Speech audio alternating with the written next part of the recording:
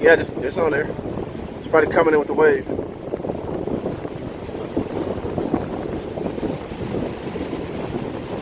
Get that tip up, you can feel it.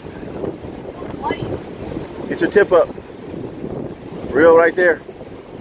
Reel with your tip up. You can feel it pulling against you. There you go. Now skip jack. Yep.